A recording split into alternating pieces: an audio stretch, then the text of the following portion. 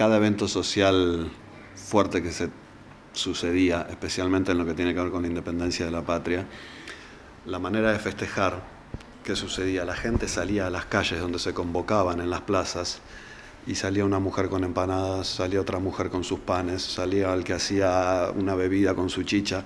Eso era lo que sucedía en Argentina en esos momentos, en los distintos lugares del país.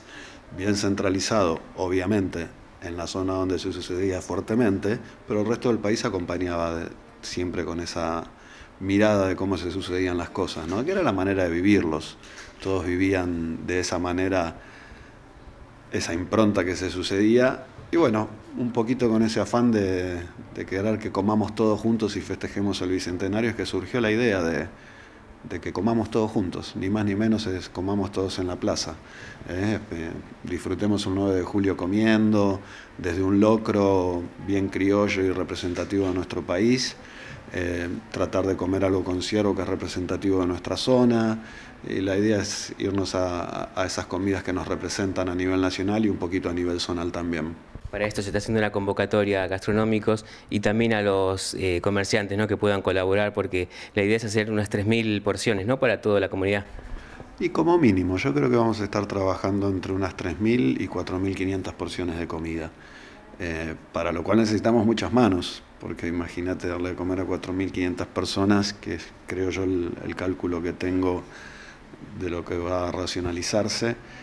Eh, necesitamos muchas manos. El recurso humano que tenemos en el pueblo es muy bueno, sabemos que también es muy solidario cuando lo necesitamos y en un fin tan lindo como este, que es compartir un almuerzo, un día tan especial, creo que vamos a poder conseguir algo de gente muy voluntariosa. Yo soy uno y tenemos otros ahí al lado y, en la vereda enfrente otros. Hay, siempre hay colegas que están dispuestos a, a querer participar de algo así tan lindo, ¿no? Porque va a ser muy bonito. Además esto se va a cocinar en, las cocinas del ejército y seguramente también los chefs del ejército van a, van a colaborar. Sí, ayer estuvimos reunidos con la gente del ejército que tiene una predisposición realmente increíble.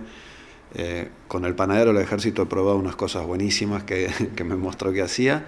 Así que la idea es un poquito nuclearnos, gente del ejército, profesionales de la gastronomía que quieran participar, que me encantaría que participemos todos tenemos que armar desde una torta gigante que vamos a hacer en el medio de la plaza, donde vamos a requerir nuevamente muchísimas manos, ¿no? Estamos hablando de una torta de unos 8 metros cuadrados, que queremos que todo el pueblo participe en esa torta, con lo cual queremos que todos los profesionales participen en su armado, lo mismo que el locro, lo mismo que la empanada y lo que se suceda.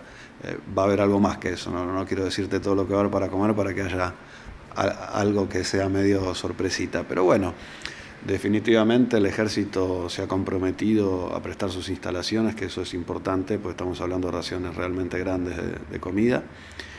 Tienen un espacio muy bueno, tienen instalaciones muy buenas, muy buena predisposición y gente con ganas de trabajar, que también es importantísimo. Así que está hecha la convocatoria entonces, en principio a los gastronómicos y bueno, y después a la comunidad para que el 9 de julio participe de esta gran fiesta. Y a la comunidad lo que le pedimos es que a cambio traiga un alimento no perecedero, el cual va a ser indicado cuál es la, la preferencia de los alimentos. Esos alimentos van a ser objetivizados hacia los comedores comunitarios, que es un poco la convocatoria. Después, en cuanto a los comerciantes, todo lo que sea donación, entiendo que Guillermina está encargándose fuertemente de recolectar toda la materia prima que necesitamos, que va a ser mucha. Sé que hoy en día los comerciantes pelean algo tal vez es un poco entre que la economía no nos juega muy bien, y entre que no tenemos nieve en la montaña y todo lo que nos sucede a diario, es difícil, pero bueno.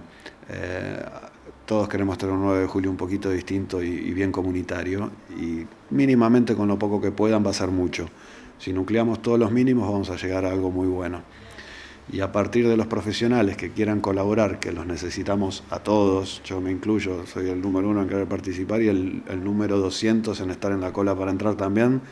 Y quiero que como yo vengan todos, los que les guste cocinar, los que no les guste cocinar pero laburen de cocineros, todos los que sintamos esa pasión por la cocina, vengan y démosle de comer todos juntos al pueblo, que va a estar realmente interesante. No vamos a estar lejos de sentir lo que sintieron ellos, sin duda, ¿no? Tenemos 200 años de diferencia y, una cultura en el medio que nos cambió mucho. Pero los que desde el corazón trabajamos con esta profesión y sabemos lo que es darle de comer a la gente, poder hacerlo todos juntos, que no es algo que se habitúe, poder hacerlo todos juntos y que todos los cocineros del pueblo podamos darle de comer a todos los habitantes del pueblo, sin duda va a ser algo, desde mi óptica profesional, eh, hermoso.